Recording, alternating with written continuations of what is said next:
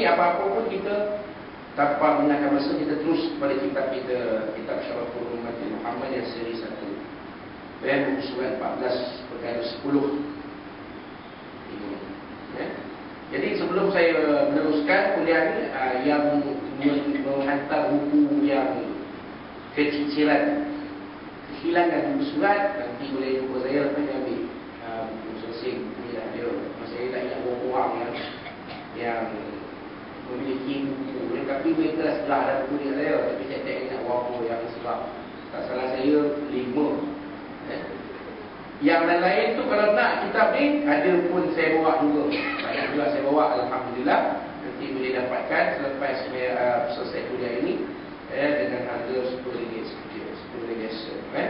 baik. Telah sekarang kitab ni Al-Quran bisa alur Al-Balikan Rasanya Allah Ta'ala Perkara 10 Dalam bab kelebihan bulan muazzin Para muazzin merupakan sebaik-baik maham Allah Subhanahu Wa Ta'ala Kali berasa hadis Nabi Sallallahu Alaihi Wasallam Inna khiyara ibadillah Alladina yura'una syamsa wal qamara wal nujuma lidikrillah Al-Quran Rasulullah Makum dia Inna khiyara ibadillah sesungguhnya sebaik-baik hamba Allah. Khiyar sebaik-baik daripada perkataan khairun. Khiyar sebaik-baik. Eh. Dalam ilmu fiqh, dalam ilmu fiqh, dalam bab al-muamalah, khiyar bermaksud ya, janji antara pembeli dan penjual. Eh. Satu janji tertentu antara pembeli dan penjual bahawa barang yang dibeli boleh dipulangkan semula sekiranya ada kecacatan ataupun aib dalam depo yang tertentu mengikut syarat-syarat yang tertentu untuk kiat. Contohnya macam kita beli barang, kita beli barang apa nama di kedai 99. Jadi kedai barang murah, harga murah, harga patut. Beli barang, beli barang, cakap dengan okey, okey. Ini barang kalau rosak saya tengok dalam tiga hari rosak saya kasih pulang eh. Dapat baru Okey berkata boleh boleh boleh boleh Okey boleh saja Boleh boleh boleh Itu namanya ya.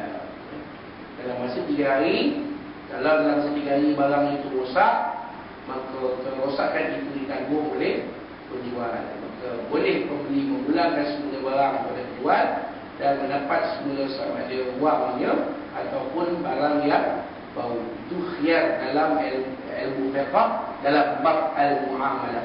Tapi di sini khiyar bermaksud sebaik-baik.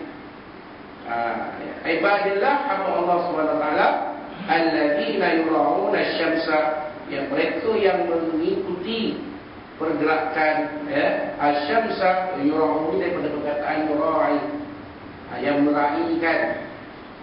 Ah, ya. maksudnya yang mengikuti. Eh, matahari itu gerak lipo dia raikan lipo dia tak pasal eh matahari kamu ikut aku? Tak ikut pergerakan kamu terbit dari timur kamu tenggelam di barat aku ikut. Setakat ini itulah. Tapi penemuan sains yang terbaru mendapati ada pergerakan-pergerakan planet yang menjadi ya, ya, agak tidak ketentuan. Agak tidak stabil. Ya, pergerakan. Dia bergerak ekonomi tetapi makin lama makin perlahan, makin lama makin perlahan. Dan mengikut kajian ada tanda-tanda akan berlaku pertukaran arah pergerakan. Ha. Lepas tu dia bergerak ikut orbit dia daripada barat ke timur. Ha. Tengok tanda-tanda tu macam dia nak nak beralih arah daripada timur ke barat. Maksudnya di planet ini nanti kalau siapa yang planet ini satu masa dia akan dapat melihat matahari terbit dari barat dan tak sebab dalam sistem suria kita ada sembilan planet tak mustahil satu masa nanti apa yang dah disebut menjadi kenyataan iaitu matahari terbit dari arah barat. Kalau pergerakan bumi melalui matahari itu berubah daripada timur bergerak ke arah barat. Sekarang bumi kita dia bergerak dia berpusing berpusing keliling itu untuk kita punya hari siang malam. Dia berputar mengenai matahari itu sekarang ni daripada barat ke timur. Sebab itulah matahari terbit dari timur ke barat satu masa nanti dia akan pusing kata pakar-pakar astrologi. Ha, jadi sekarang ni masih lagi ikut macam mana yang diatur oleh Allah Subhanahu wa taala sampai masa dia akan lawan. Di situlah ayat wujudnya tanda-tanda berakhirnya alam alam dunia. Berakhirnya usia dunia mendekati alam akhirat. Setakat ni alhamdulillah pintu taubat masih terbuka lagi. Dalam kehidupan selagi hayat di kandung badan, selagi itu pintu taubat kita terbuka. Dalam hayat dalam alam dunia ini selagi matahari belum terbit dari badan barat, pintu taubat masih terbuka atau maksudnya. Jadi siapa-siapa yang meraihkan pergerakan matahari, meraihkan pergerakan bulan, wan nujum dan pergerakan bintang, lirik rela untuk mengajak manusia menjadi Allah SWT. Siapa di golongan ini tuan-tuan? Ya, tutup Bilal. Tutup Bilal ni tuan-tuan. Dia hafal waktu sembahyang. Dia hafal. Tak cari tak juga Bilal. Dia hafal subuh berapa, zuhur berapa, asar berapa, maghrib berapa, isyak berapa. Sebab itu puasa dia. Dia kena ingat waktu-waktu itu kerana waktu pada waktu itulah tugasnya perlu dijalankan. Dia perlu menjalankan tugas dia memandangkan, melaungkan azan. Ada subuh tadi, subuh tengah hari terang, asar petang terang, maghrib, isyak, malam terang. Ha, itu tugas dia. Jadi dia kena ingat waktu. Kita ni tak ingat. Kita ni semata-mata mengharap kepada Tok Bilal. Kalau Tok Bilal tak azan, blackout. Ha, agak ke matahari. Tengok gelap, eh, maghrib lebih dah gelap. Wah, isyak masuk lah. Ha, sebab kita berharap kepada Tok Bilal. Sebab kebetulan petang petang tu hujan pula. Hujan sampai lebatnya. Jadi tak nampak lah. Ya, waktu maghrib tak nampak lah. Merah-merah tu. Kalau tak ada Tok Bilal, tak tahu waktu masuk. Waktu maghrib isyak ni, gelap aja. Tengok jam, merah kat jam je. Ha, itu. Waktu semayang pula berubah tak sama antara satu tempat dengan satu tempat dan tempat lain. Macam isyak di Perak ni. 8.50 di Islamabad 8.41. Di KL 8.45. Nampak? Ha. Jadi Tok Tok Bilal ni dia oleh kerana dia hafal waktu-waktu semayang maka dia lah sebaik-baik hamba Allah SWT yang disebut oleh Nabi SAW jadi bukan eh kerja jadi Bilal ni kerja Bilal ni Allah Ta'ala aktiraf Allah Ta'ala bagi ISO 92 sebagai sebaik-baik hamba Allah hamba je ha, sebaik-baik orang sebaik-baik hamba Allah dia kata Nabi SAW tuk-tuk Bilal ni sebab mereka ini mengikuti pergerakan waktu solat sepanjang masa mengikut. Jadi ini sebaik-baik hamba Allah. Ya tak ya? Boleh buat calon menentu. Ha. Betul tak?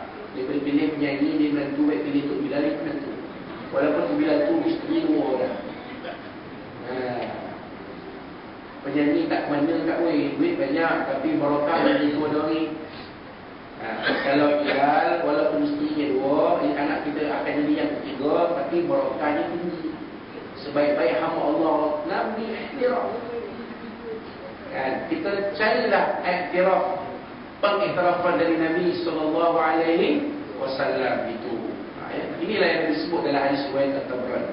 Baik, itu yang ke-10. Yang ke-11, para mu'ahid juga akan dibangkitkan pada hari kiamat sebagaimana keadaan mereka sebelum mati yang mana manusia ketika itu dalam kegelisahan dan ketakutan sedangkan para muzik itu sibuk melakukan azan mulia di dunia dah ada mulia di padang masyar esok pun ada hmm.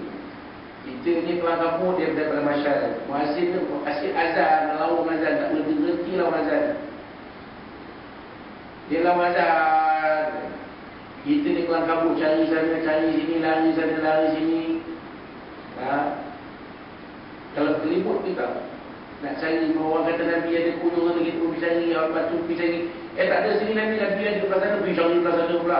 Pergi belah sana pula. Tak ada Nabi pergi tempat lain pula Cari Nabi pasal apa Nak minta syafaat dari Nabi supaya disegerakan hisap Kelang kabut kita tak boleh Udahlah tak pakai apa benda Singlet pun tak ada Seluar pendek pun tak ada Apa pun tak ada Orang kabut cari Nabi mana Nabi ni Pasyafiq lah ya Rasulullah cari cari cari tak jumpa Tutup bila nilai azan. Ya, tak mesti azan. Allahu Akbar, Allahu Akbar.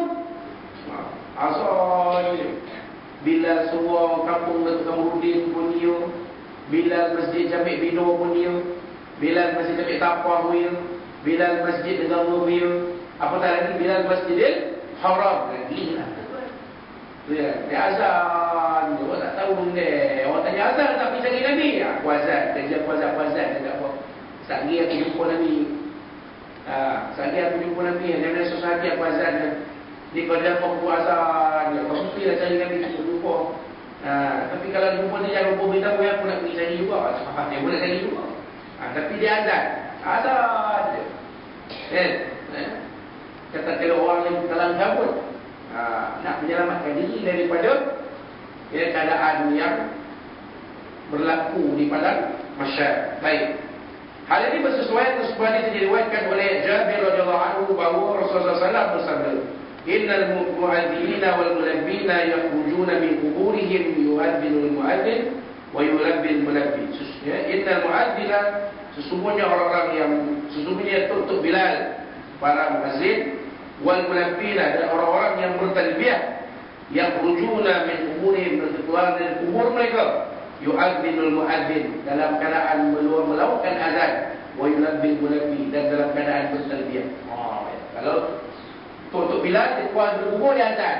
Keluar kubur ya takbir dia azan. Allah akbar Allahu akbar. Ha, kalau yang mana yang bertalbiyah pada dia keluar berkubur pula dia bertalbiyah labbaik Allahumma labbaik labbaik la syarika lak labbaik innal hamda wan ni'mata lak wal mulk